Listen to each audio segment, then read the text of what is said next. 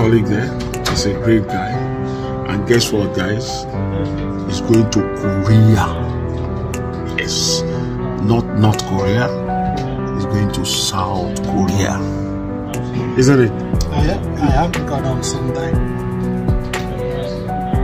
He's going this Sunday to Korea. So I'm trying to tell him to video vlog his trip from his house to the airport on the plane when he gets to Korea and come off so that we can put it on our YouTube channel. So we can put it on our YouTube channel so that you guys will know what it's like to travel from UK to Korea.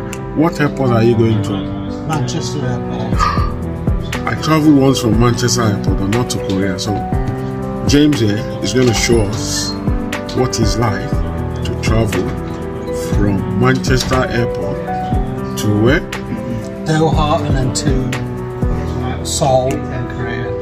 Okay. So he's going to go to Incheon. yeah, is it, oh Incheon Airport. Yeah, Incheon. Yeah, he's going to go to Doha and where again? Incheon. Incheon Airport and then to South Korea. So let's keep our fingers crossed that James here would uh, show us, take us on his trip from his home to the airport out till the time he gets off the plane in South Korea.